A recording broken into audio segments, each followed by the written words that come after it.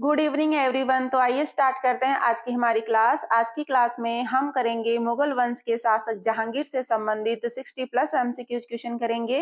ये सभी परीक्षाओं के लिए इम्पोर्टेंट है। ये क्लास हम रोज छह बजे अपलोड करते हैं। तो आइए स्टार्ट करते हैं।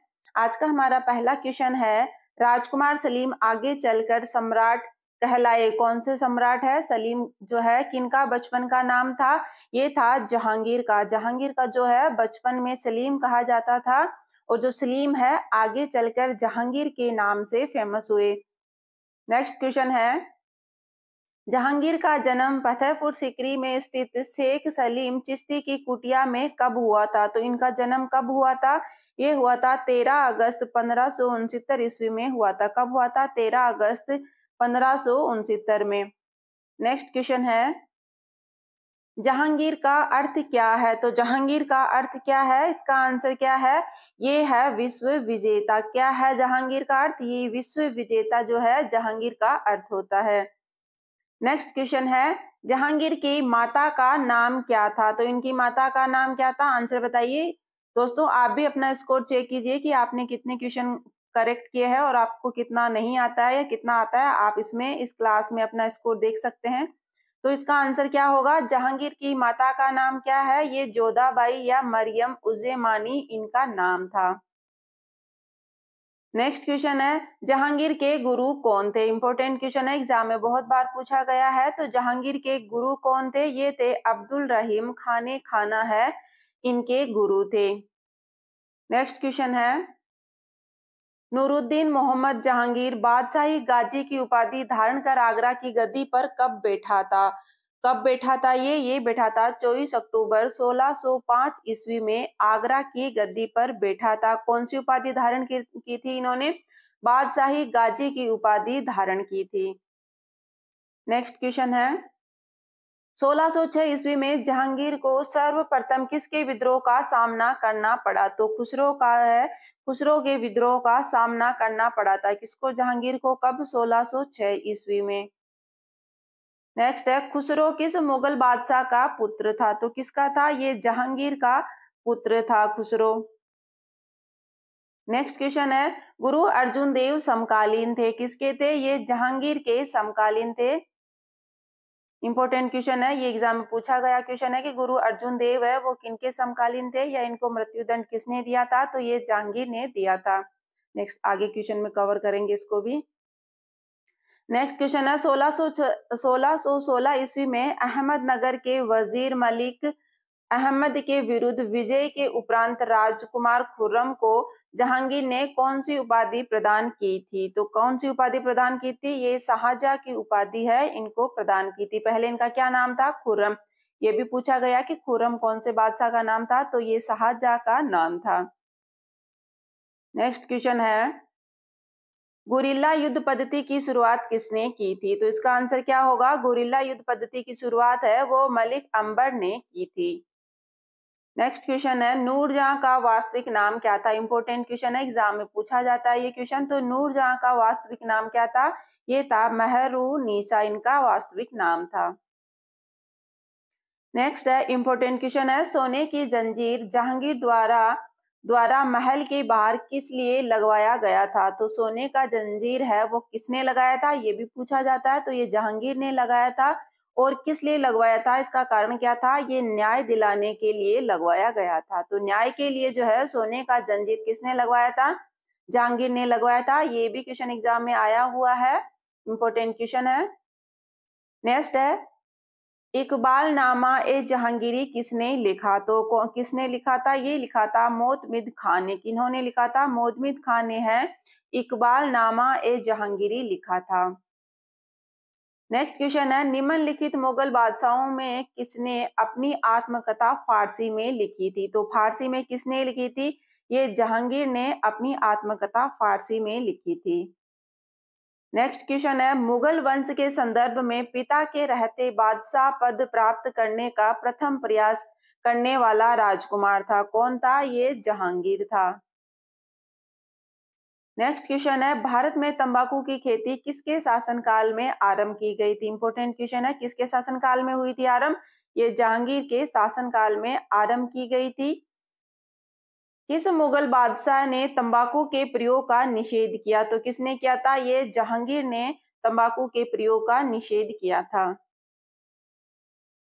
नेक्स्ट क्वेश्चन है, किसके चांदी के सिक्कों पर राशि चक्र का अंकन है? तो किसके पे है? ये जहांगीर के चांदी के सिक्कों पर राशि चक्र का अंकन है। नेक्स्ट क्वेश्चन है, निम्नलिखित मुगल शासकों में सर्वप्रथम किसने राजा की आकृति से युक्त सिक्के चलाए थे? तो ये जहांगीर ने राजा की आकृति से युक्त सिक्के चलाए थे। नेक्स्ट है, जहांगीर द्वारा किस नाम से सिक्के जारी किए थे? इंपोर्टेंट क्वेश्चन है, किस नाम से जारी किए थे इसने सिक्के? ये किए थे निशार के नाम से। नेक्स्ट क्वेश्चन है असमत बेगम जिन्होंने गुलाब से इत्र बनाने की विधि खोजी थी, वह कौन थी? इंपोर्टेंट क्वेश्चन है एग्ज़ाम में बहुत बार पूछा गया है, ये क्वेश्चन इंपोर्टेंट है वेरी वेरी इंपोर्टेंट सभी परीक्षाओं के लिए इंपोर्टेंट है। तो असमत बेगम है, उन्होंने जो गुलाब से इत्र बनाने की विधि खोजी थी, वह कौन थी? वह थी नूर जहाँ की माँ। कौन थी? नूर जहाँ की माँ थी। नेक्स्ट क्वेश्चन है, जहांगीर ने अपनी पत्नियों में किसे पटम, मिहिसी या बादशाह बेगम की उपाधि प्रदान की। तो किनको प्रदान की थी? ये नूर जहाँ को पटम, मिहिसी या बादशाह बेगम की उपाधि प्रदान की थी। नेक्स्ट क्वेश्चन है, जिस चित्रकार ने तुजुक ए जहांगीरी के मुख्य पृष्ठ के लिए चित्र बनाया, उसका नाम क्या था? तो क्या नाम था? ये था अबुल हसन। कौन था? ये एक चित्रकार था जिसने तुजुक ए जहांगीरी के मुख्य पृष्ठ के लिए चित्रकार चित्र बनाया था। कौन था? अबुल हसन था। नेक्स्ट क्वेश्चन है इंपॉर्टेंट है। एतमा एतमादुल्ला का मकबरा आगरा में किसने बनवाया था? एतमा एतमादुल्ला का मकबरा है, वह आगरा में किसने बनाया? ये नूर जहाँ ने बनाया था। एग्ज़ाम में पूछा जाता है कि एतमा एतमादुल्ला का मकबरा है, वह कहाँ पर है? ये आगरा में है और किसने बनाया? नूर जहाँ ने इसको बनवाया था। नेक्स्ट क्वेश्चन है, मध्यकाल में सफ़ेद संगमरमर का पहली बार प्रयोग किसके निर्माण में हुआ है? ये भी एग्ज़ाम में पूछा गया क्वेश्चन है तो इसका आंसर बताइए। किसके, कौन से मकबरे के निर्माण में हुआ है? सफ़ेद संगमर का पहली बार प्रयोग तो ये हुआ है एतमादुल्ला के मकबरे में। किसमें हुआ है? एतमादुल्ला का जो मकबरा है, उसमें पहली बार सफ़ेद मरमर का जो सफ़ेद संगमरमर है, इसका प्रयोग किया गया था। नेक्स्ट क्वेश्चन है, पूर्णतः संगमरमर मंडित प्रथम मुगल इमारत थी। कौन सी थी? ये इंपॉर्टेंट क्वेश्चन है, ये पूछा जाता है तो इससे जितने क्वेश्चन बनते हैं, सारे हमने कवर किए हैं। तो पूर्णतः संगमरमर मंडित प्रथम मुगल इमारत कौन सी थी? ये थी एतमादुल्ला का मकबरा। नेक्स्ट क्वेश्चन है, मुगल काल के किस निम्नलिखित मकबरे में प्रथम बार पित्रा दूरा का प्रयोग मिलता है? ये भी एग्ज़ाम में आया है तो पित्रा ड्यूरा का जो प्रयोग है, सबसे पहले किसमें मिलता है? इसका आंसर क्या होगा? ये है एतमादुल्ला का मकबरा। एतमादुल्ला का मकबरा से रिलेटेड जितने भी क्वेश्चन है, सब एग्ज़ाम में पूछे गए हैं। इंपोर्टेंट क्वेश्चन है तो किसमें पित्रादुरा का प्रयोग हुआ था? प्रथम बार ये हुआ था एतमादुल्ला का मकबरे में। नेक्स्ट क्वेश्चन है धरातलीय सजावट में पिट्रा ड्यूरा का सर्वप्रथम प्रस्तुतिकरण निम्न में से है तो कौन सा है? ये है एतमादुल्ला का मकबरा। किसमें हुआ था पिट्रा ड्यूरा का प्रयोग? ये हुआ था एतमादुल्ला के मकबरे में। ऐसे क्वेश्चन पूछे गए हैं, ये रिपीट किए गए हैं एग्ज़ाम में। नेक्स्ट क्वेश्चन है, फतेहपुर सिकरी स्थित लाल पत्थर से निर्मित शेख सलीम चिश्ती के मकबरे को किसने संगमरमर का करवाया था? तो किसने करवाया था? ये जहांगीर ने संगमरमर का करवाया था। कौन सा है? शेख सलीम चिश्ती का जो मकबरा है, उसको संगमरमर का किसने बनवाया था? जहांगीर ने बनवाया था। कहाँ पर है ये? फतेहपुर सिकरी में स्थित है। नेक्स्ट क्वेश्चन है, सिकंदर, सिकंदरा स्थित अकबर के मकबरे का निर्माण किसके द्वारा करवाया गया था? तो किसके द्वारा करवाया गया था? ये जहांगीर के द्वारा करवाया गया था। नेक्स्ट क्वेश्चन है किस मुगल शासक ने ईस्ट इंडिया कंपनी को भारत में व्यापार करने का फरमान दिया था। वेरी इंपॉर्टेंट क्वेश्चन एग्ज़ाम में पूछा गया क्वेश्चन है कि ईस्ट इंडिया कंपनी को भारत में व्यापार करने का फरमान है, वो किस मुगल शासक ने दिया था? तो आंसर बताइए, इनमें से कौन सा है? अकबर, हुमायूं, जहांगीर या शाहजहां? तो इसका आंसर क्या होगा? ये जहांगीर ने दिया था। नेक्स्ट क्वेश्चन है, प्रथम अंग्रेज़ जिसने सम्राट जहांगीर से फरमान प्राप्त करने के लिए भेंट की थी। तो कौन था वो जिसने जहांगीर से फरमान करने के फरमान प्राप्त करने के लिए भेंट की थी? तो ये था कैप्टन हॉकिंस। कौन था? कैप्टन हॉकिंस था। नेक्स्ट क्वेश्चन है, जहांगीर के दरबार में पहुँचने वाला अंग्रेज़ कंपनी का पहला प्रतिनिधि कौन था? कौन था? ये था कैप्टन विलियम हॉकिंस था। अंग्रेज़ कौन था? कैप्टन विलियम्स हॉकिंस था। जो जहांगीर के दरबार में आया था, एग्ज़ाम में पूछा गया है कि जहांगीर के दरबार में कौन आया था? Captain William Hawkins. Next question है, न्याय के लिए बादशाह से फरियाद करने का अधिकार प्रदान किया तो किसने प्रदान किया था? ऑप्शन है, अकबर और जहांगीर, अकबर, शाहजहा और औरंगज़ेब, जहांगीर और शाहजहा। तो किसने किया था अधिकार प्रदान? ये जहांगीर और शाहजहा ने प्रदान किया था। नेक्स्ट क्वेश्चन है, कश्मीर का सालीमार बाग किस मुगल सम्राट ने बनवाया था? तो किसने बनाया था? अकबर, हुमायूं, शाहजहां और जहांगीर। कश्मीर का सालीमार बाग है, वो जहांगीर ने बनवाया था। नेक्स्ट क्वेश्चन है, जहांगीर द्वारा किस कंपनी को सूरत में कारखाना लगाने का अधिकार दिया गया था? तो अधिकृत किसने किया था? किसके द्वारा किया गया था यह अधिकार? कौन सी कंपनी को दिया गया था? जहांगीर द्वारा किस कंपनी को सूरत में कारखाना लगाने को अधिकृत किया गया था? तो कौन सी कंपनी थी वो? यूनाइटेड ईस्ट इंडिया कंपनी, फ्रांसीसी कंपनी या पुर्तगाली ईस्ट इंडिया कंपनी या इंग्लिश ईस्ट इंडिया कंपनी? तो ये कौन सी थी? ये थी इंग्लिश ईस्ट इंडिया कंपनी को जहांगीर द्वारा सूरत में कारखाने लगाने का अधिकार दिया गया था। कहाँ पे? सूरत में। नेक्स्ट क्वेश्चन है। इंग्लैंड के तत्कालीन राजा जेम्स प्रथम द्वारा जहांगीर के शाही दरबार में राजदूत के रूप में निम्नलिखित में से किसको भेजा गया था? तो किसको भेजा गया था?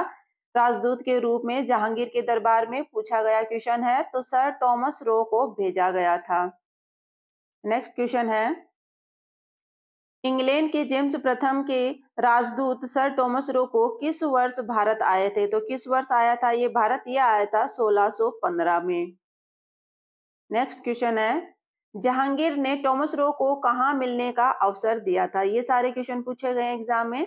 तो जहांगीर ने टॉमस रो को कहा मिलने का अवसर दिया था? ये अजमेर में इनको मिलने का अवसर दिया था। नेक्स्ट क्वेश्चन है, जो चित्रकला के शत्रु है, मैं उनका शत्रु हूँ, किस मुगल शासक ने कहा था? तो किसने कहा था? ये जहांगीर ने कहा था। नेक्स्ट क्वेश्चन है, जहांगीर द्वारा सिक्कों के किस गुरु को फांसी दी गई थी? तो सिखों के किस गुरु को फांसी दी गई थी? ये पांचवे गुरु को दी गई थी। कौन थे? अर्जुन देव थे। कौन थे? अर्जुन देव को जो है जहाँ शाहजहां जहांगीर द्वारा जो है फांसी दी गई थी। किसके द्वारा? जहांगीर द्वारा है अर्जुन देव को फांसी दी गई थी, जो सिखों के पांचवे गुरु थे। नेक्स्ट क्वेश्चन है, भारत में ब्रिटिश दूत कैप्टन हॉकिंस तथा सर टॉमस रो किसके दरबार में आए थे। तो ये जहांगीर के दरबार में आए थे। कौन कौन आए थे? कैप्टन हॉकिंस तथा sir Thomas Roe. Next question है, निम्नलिखित में से किसको मुगल सम्राट जहांगीर ने केदी बनवाया? तो किसको बनाया था? शेख अहमद सर हिंदी को इसने केदी बनवाया था जहांगीर ने। नेक्स्ट क्वेश्चन है, चित्रकारी किसके शासनकाल के दौरान अपने उच्चतम स्तर पर पहुँची? इंपॉर्टेंट क्वेश्चन है तो किसके शासनकाल में चित्रकारी है, वो अपने उच्चतम स्तर पर पहुँची थी तो ये जहांगीर के शासनकाल में पहुँची थी।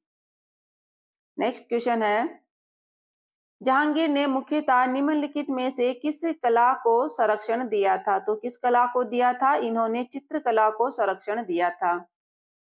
नेक्स्ट क्वेश्चन है निम्न में से कौन मुगल चित्रकला की विशेषता नहीं है? तो कौन सी नहीं है? ए, दरबारी तथा सांस्कृतिक दृश्य, बी, धार्मिक दृश्य, सी, युद्ध के दृश्य और डी, पौराणिक कथाएँ। तो कौन सा है? वो विशेषता नहीं है मुगल चित्रकला की, ये है धार्मिक दृश्य जो है, इनकी विशेषता नहीं है।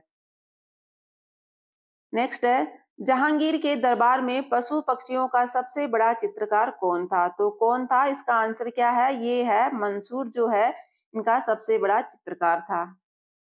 नेक्स्ट क्वेश्चन है जहांगीर कालीन निम्नलिखित में से किस एक चित्रकार को नादिर उल असर की उपाधि प्रदान की गई? तो किसको प्रदान की गई थी? ये मसूर को जो है, नादिर उल असर की उपाधि प्रदान की गई थी, जो कि एक चित्रकार था। मंसूर। नेक्स्ट है, निम्नलिखित में से कौन एक जहांगीरी चित्रकार था? तो कौन था? ये अबुल हसन जो है, एक चित्रकार था। नेक्स्ट क्वेश्चन है, निम्नलिखित में से किसका मकबरा भारत से बाहर है? तो किसका है? ये जहांगीर का मकबरा है, वो भारत से बाहर है। नेक्स्ट है, किस मुगल बादशाह का मकबरा रावी नदी के तट पर निर्मित है? तो किनका है? जहांगीर का जो मकबरा है, वो रावी नदी के तट पर है।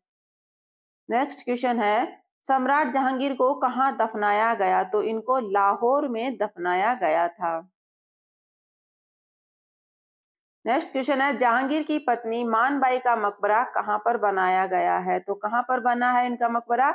ये इनका मकबरा है, इलाहाबाद में। कौन सी पत्नी है? मानबाई का मकबरा है, वो इलाहाबाद में है। तो दोस्तों, ये आज की हमारी क्लास थी। आपको ये क्लास कैसी लगी, कमेंट करके ज़रूर बताएँ। अपना स्कोर भी कमेंट में बताएँ। और क्लास को लास्ट तक देखने के लिए थैंक यू। अगर आपने अभी तक क्लास को लाइक नहीं किया है तो इसको लाइक कीजिए।